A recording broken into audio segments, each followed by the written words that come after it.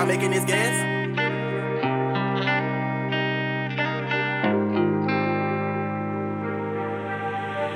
FQ did your thing with this.